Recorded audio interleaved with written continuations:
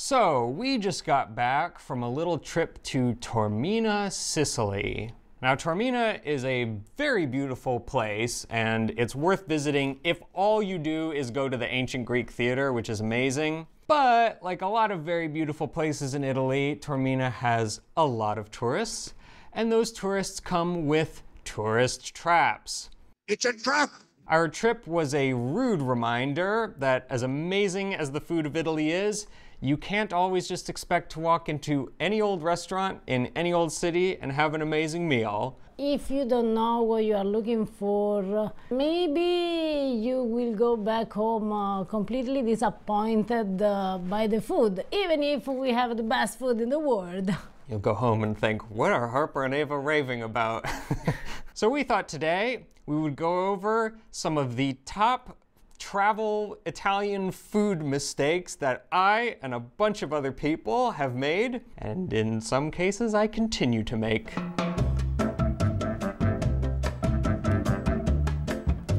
So the first mistake, and this one I really made on this trip, doesn't sound like it's related to food at all, but it is, and we'll explain why. And that mistake is traveling in August. Ava, why is traveling in August um, unadvised? I would say that usually traveling in August in Italy is completely forbidden. Coming in Italy in August is very bad. All the people in August here in Italy we are on vacation. So you will end up having a lot of tourists in the most beautiful places. The August vacation thing in Italy was very unexpected to me. I really didn't understand it until I experienced it. I mean, everyone's on vacation. All around Ferragosto, which is the 15th It's of the August. 15th of August where every single Italian is on vacation. But I always thought, like, I knew about that day. You had told me about Ferragosto, but I thought, like, oh, it's a day. No, it is. It it extends out into this holiday that's basically the whole month of August. Because it's like, uh, I'm so sorry, when uh, is a holiday in Italy doesn't mean one day. no, it never does, and I should have known. So I made this mistake because I booked this trip without talking to Ava. Uh, and I thought, oh, it's the weekend after Ferragosto. That'll be fine. Ferragosto's over. No, it was not over. Just the line to get on the ferry to go to Sicily was just like miles of standstill traffic. People were just getting out of their cars and going to like get a coffee because we were all just sitting there for so long. And the reason why this affects the food that you will eat in Italy is because, for instance, in Taormina, there is one thing in particular that I like to eat there. One thing. It's the one thing that I look forward to. I'm like, oh, I get to eat this in Taormina. And it's the granita with brioche at this particular bar. It's called Bam Bar. It's really amazing, really good. But the problem is, a lot of people know it's really amazing and really good. We went there the first day, line just out the door. It was going to take hours of waiting. We finally gave up. We said, we know. We'll come back at 7:30 in the morning the next day the moment they open. Nope, line all the way around the block. We went every day we were there. I never got my granita. So, if you travel in Italy in August, you might miss out on the very thing that you want to eat. you can't enjoy a place uh, where you have uh, to be constantly in line to do everything you want. The second mistake that I used to make a lot before I met Ava was expecting to find all of Italy in all of Italy. Do you know what I mean by that? Yes, Harper, I know what you mean. You mean that uh, as an international tourist, you come to Italy, you end up in Rome, and uh, for example, you're craving a cannolo. And you expect that you can walk in every pastry shop in Rome and find an amazing cannolo. Eh, no, because cannolo is from Sicily. So if you want really a good cannolo, you should go to Sicily. then this doesn't mean that in Rome they don't have, but maybe there are two or three specific places that make a cannolo as good as in Sicily.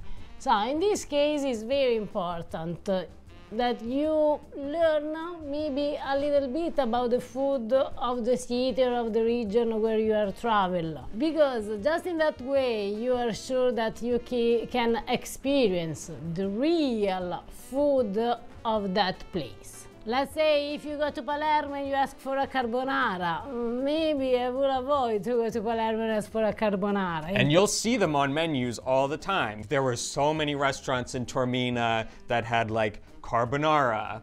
Oh, but it's a carbonara with onions in it. Hmm.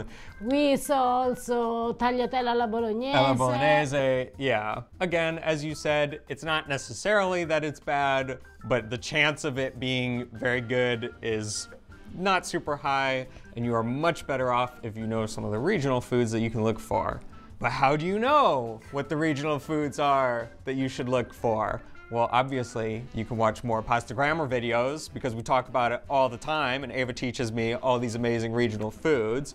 But there's another thing that you can do that I've found quite useful, and it seems really obvious, but people don't think to do it.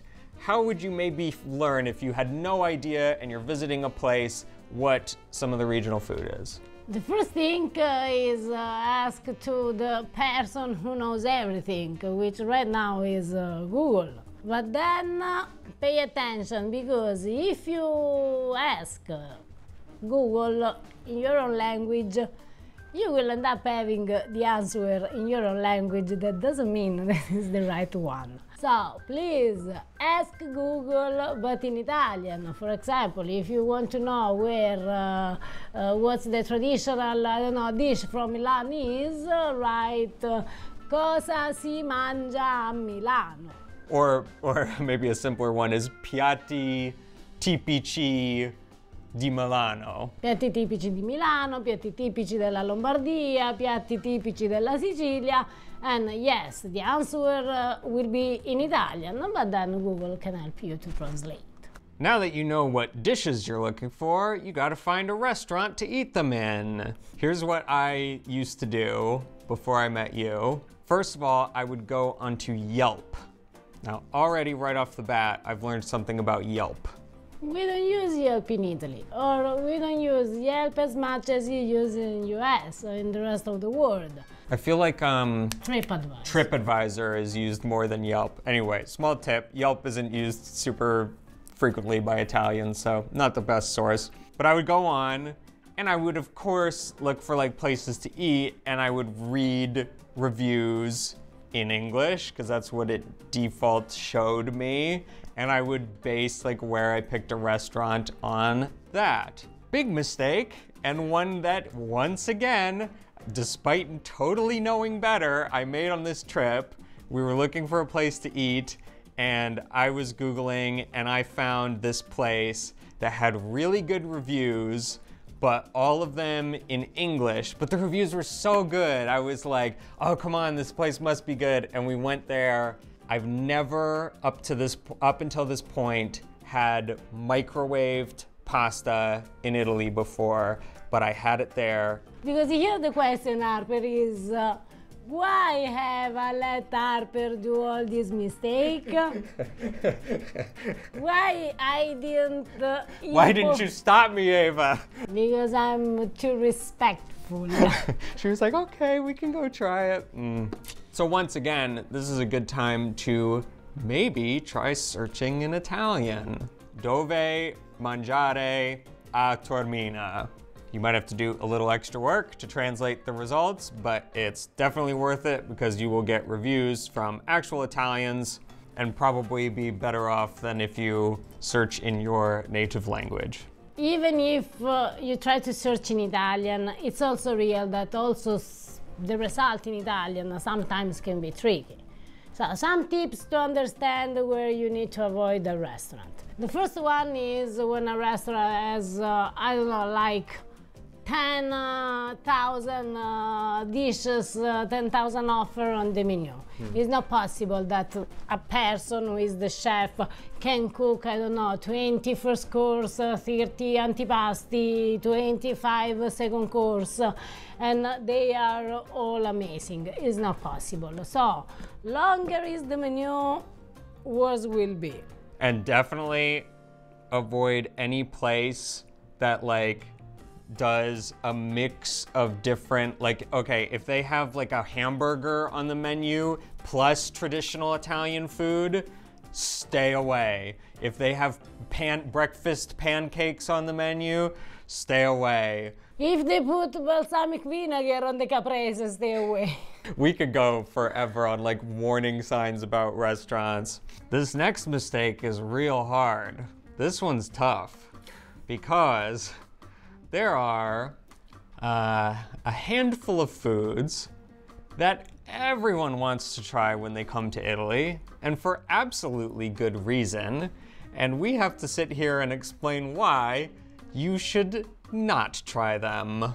Here we can say that, for example, you are like Harper. Harper loves tiramisu so much.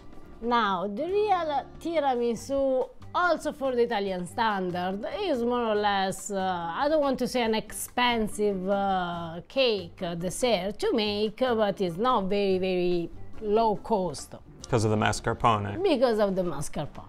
For a restaurant, a mascarpone is a cost. And they, how can I explain? They never make it right. That's how you can I- explain it. No, there are, it's theoretically possible that if you go into a restaurant and order a tiramisu, they will make it properly with mascarpone. Sometimes, for instance, we wanted to do tiramisu on the Pasta Grammar tour, and we have to specifically check with the restaurant and ensure that they know that we are expecting a real tiramisu because normally they skip the mascarpone and they just use whipped cream. I've ordered tiramisu in restaurants all over Italy, from north to south. I try them wherever we go just to see. I'm trying to prove Ava wrong. Not once, not once have I gotten a real tiramisu. But that's not the only one. There are quite a few foods that are really like homemade foods, and even though they're so classic and everyone wants to try them, they're really not something that you should order in a restaurant if you want to be sure that you're going to get something good. Think about panna cotta, Harper. Panna cotta. Everyone knows panna cotta. Now, if you go to a restaurant and they have panna cotta with frutti di bosco, cioccolato, caramello, these are the three national topping for Italian panna cotta, you are 99% sure that that panna cotta is pre-made. Because they sell the box in Italy of uh, It was like a powder. Yes, with the same toppings. So, because a restaurant needs to work, uh, it's like uh, they can't spend time actually to make a proper panna cotta, to make the proper topping, so they try to find a shortcut. So I would avoid like things like tiramisu, things like panna cotta. Cannoli at restaurants, not a good idea. except uh, if you are not sure 100% that is maybe a Sicilian restaurant and actually Yeah. they treat the cannoli properly because in that case yes the cannoli It can be be good, yeah. But if they're like little cannoli that have been sitting filled forever,